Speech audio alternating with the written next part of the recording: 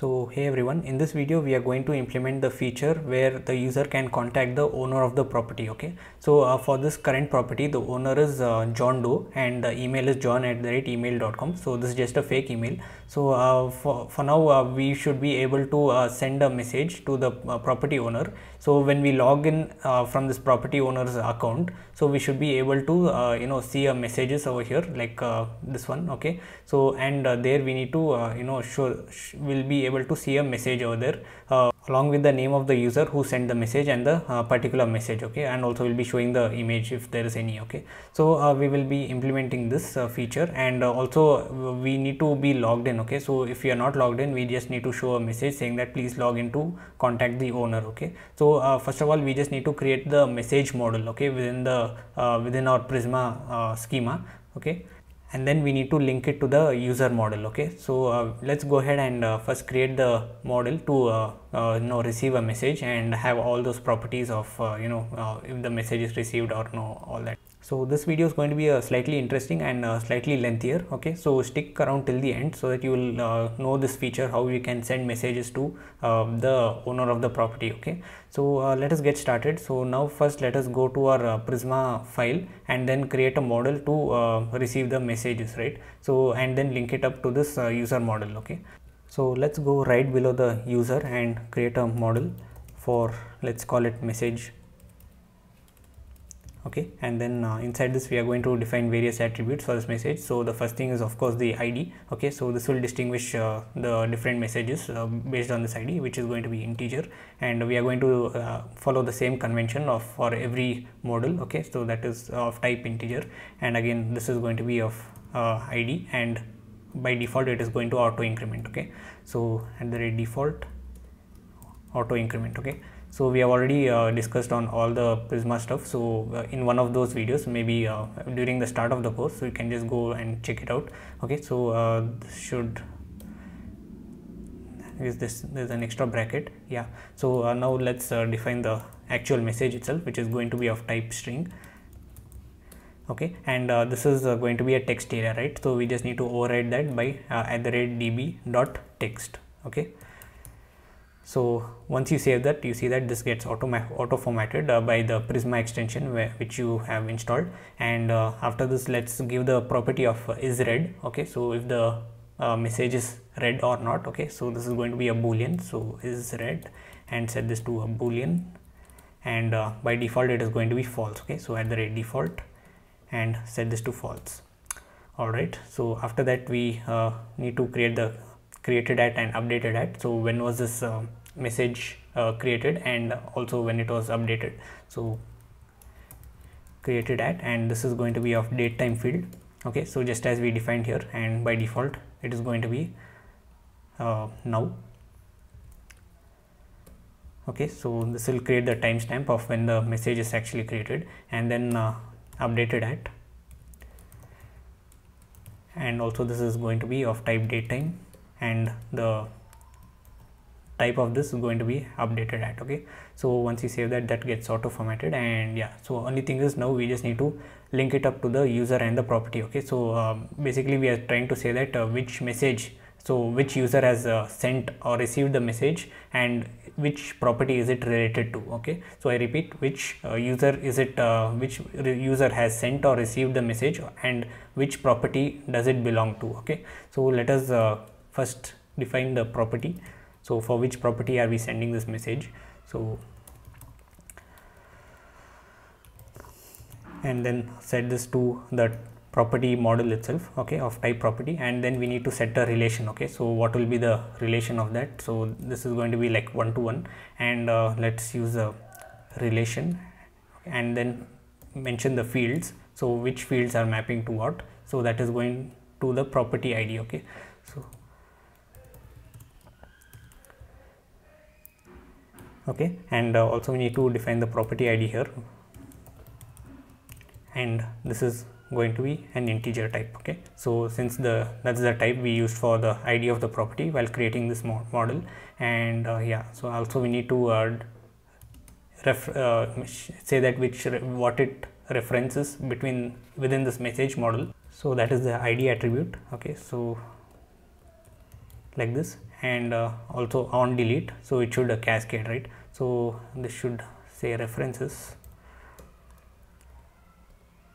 Okay and on delete is cascade. So which means that when we uh, delete the property all the related messages should also be deleted right? So cascade and yeah. So now we just need to go back to the property model and then add in the another attribute for the messages okay? So messages and which is going to be uh, of type message and it's going to be an array of that okay? So message and an array of messages for this property okay? So once we save that uh, yeah. So this is the linking is done from the messages to the property. So we have told that uh, uh, for this message which all which is related to the property so now so we have actually linked the message to the property model. So let us now do the same for the user okay? So the user has uh, for the user we need two attributes. One is for the uh, sender and the one is for the receiver okay? So which is a sender and which is a receiver? And uh, let us start with the sender okay? And this is going to be of type user okay? So the user thing. And also we need to define the relation at the rate relation. And this is going to uh, since we are having two attributes with the same relation of uh, user table. So this needs to be uh, this is actually ambiguous okay? So we need to uh, make it unique saying that uh, we can say a string of saying sent messages okay? And then we just need to specify the fields. So what field does it uh, match to? So that is sender id okay so the sender of the sender id relates to this id who is sending the message. Okay so let us also define that here sender id and references that is to the id okay the message model's id and yeah so this sender id is going to be of type int. And yeah so let us duplicate the same for the receiver as well okay. So okay let's change this to receiver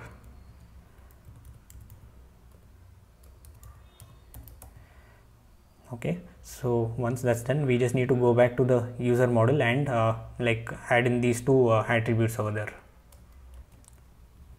So sent messages and then the received messages okay? So which is going to be of type message an array of that and then the received messages. Okay so that's done and uh, yeah so actually I forgot to change the uh, name of this so that is received messages. Alright so with that saved uh, this should so also we need to define the relation here so that is at the rate uh, relation and we need to specify this particular string over here okay? So this is what we are matching to okay? So since we are um, using two attributes for the same model so we need to have something unique here. So that's why this is the way how we can do it. So and then let's do the same for the received messages.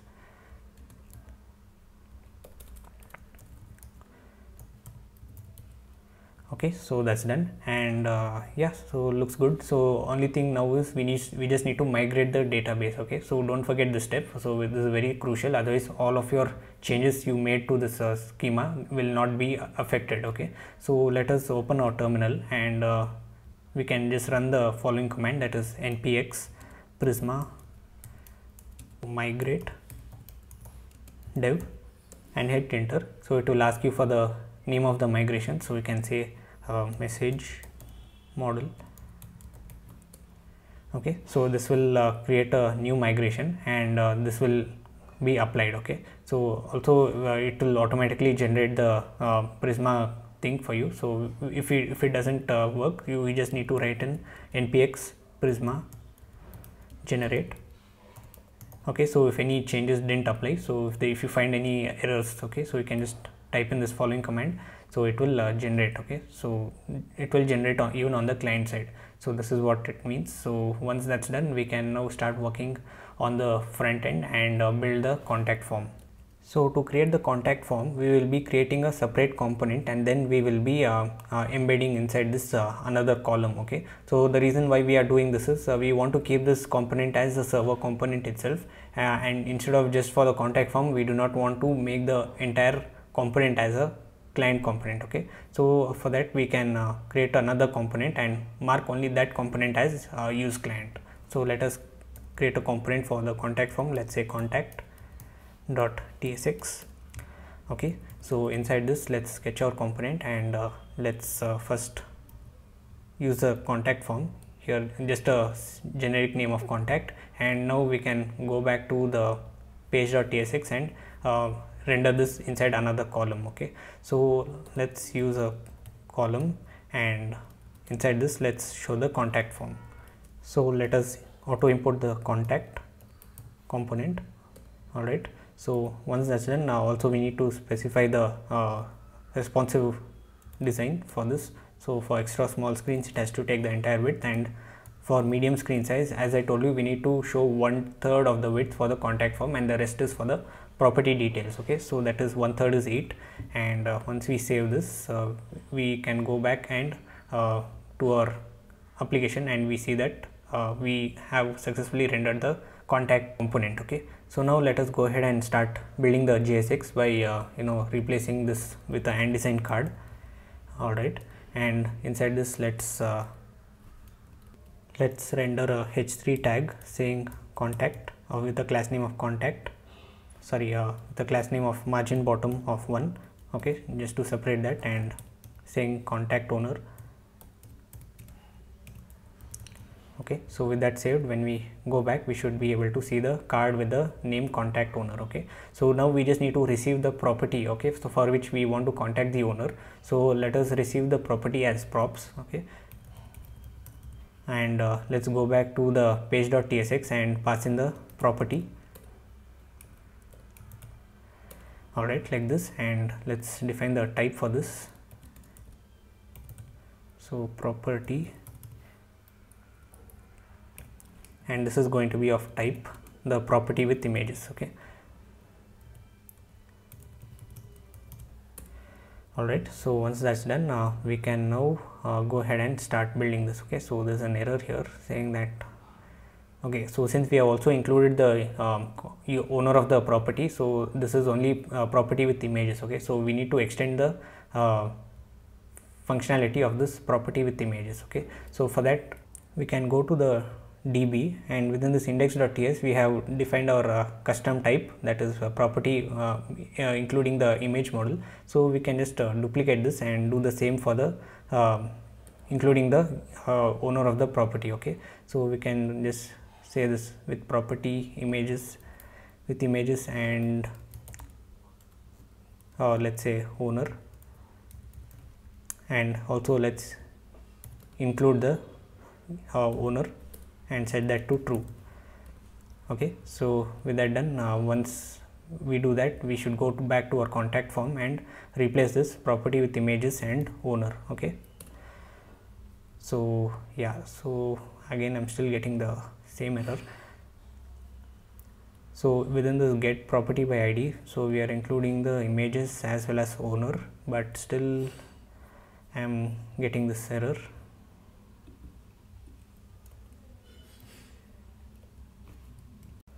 so I'm not sure about uh, why I'm getting this error for the property. So even though I have defined the user and the uh, sorry the owner and the property for that. And uh, let's check this out later. So now let us uh, continue with our contact form. So so right below this uh, contact owner we can uh, know dis display a small description component from Ant Design so if I just show you that component it's right here. So we just want to show the username and then the uh, sorry the email the name of the user who has created the property and the uh, email of the user okay? So it's uh, right here. It should be somewhat like this okay? So let us um, import this descriptions component and uh, use the name and the email of the user. So descriptions okay?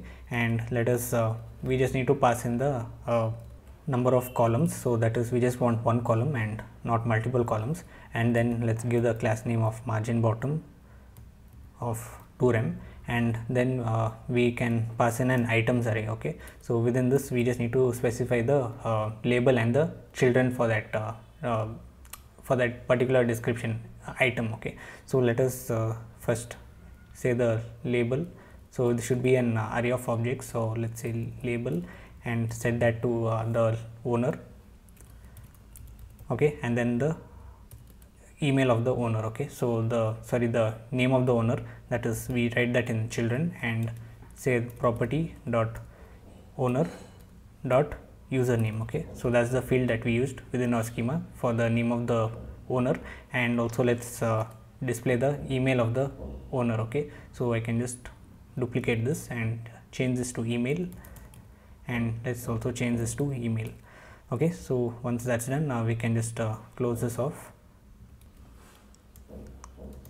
okay so if we just go back and uh, just check. Yeah there we go. So we see the owner and the email of that okay? So now let us uh, display the form to uh, show the message okay? So this just this will be one uh, input text area from Ant Design so let us import form first okay? And then let's uh, pass in the form instance. So we just need to also create the form instance. Remember that uh, in one of those videos i explained why we need the form instance. So let's create form equals the Ant Design form dot use form okay? So this will contain all the different methods like uh, resetting the form and all that okay? So it has a bunch of methods so which will be useful for us to use. So always we need to create an instance of that and this should this will return an array where the first element is the form instance okay? So let's uh, go ahead and let's put the label align to left and then the label call and that is uh, going to span across five different 5 out of 24 okay? So let's span 5 okay? Like this. So uh, by this you know out of 24 uh, you know the columns it will span 5 from that. And uh, let's give the class name of margin top of 1 and when we submit this uh, button we call this on finish function okay? So which we can for now console log and by saying the values by printing out all the values okay? So first we get the values from the as an argument. And then we console log the values. Alright? So once this is done we can just uh, close this form and start rendering out our form item okay? So the first one is and the first then the only form item is the uh, text item okay? So the text field. So let us use a form dot item. And this is going to have a label of message. And let's give the name of message.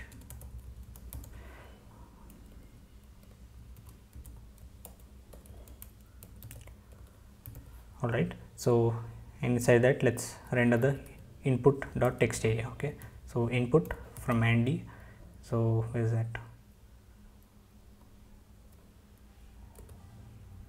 so this is going to be uh, self closing so dot text area. So this is not imported I guess. That's why uh, what dot text area. Alright so this will be a self-closing component. And once we do that let's finally uh, give a button to submit the form. So button from antd and this is going to be of type primary.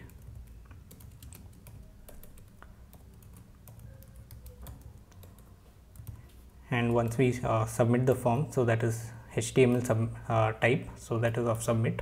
So when we submit this form it should call the submit event handler and the, let's give that attribute the prop of block saying that it should take the entire width of the contact form.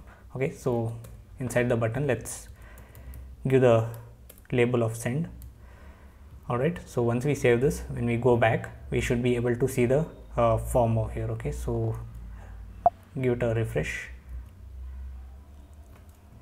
So again i forgot to mark this component as use client.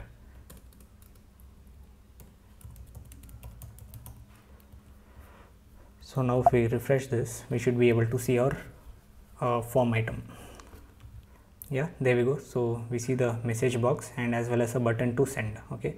So we can just type in anything. So for now nothing happens when you click on this okay? So once i just click on the send if i show you the console so we see that particular message okay inside this object. So this has a property called message and then the whatever the value we typed in okay again we just type in anything and you get the message of that okay? So we just need to uh, leverage this message as well as the logged in particular logged in user okay? And then uh, make a server action to send the message.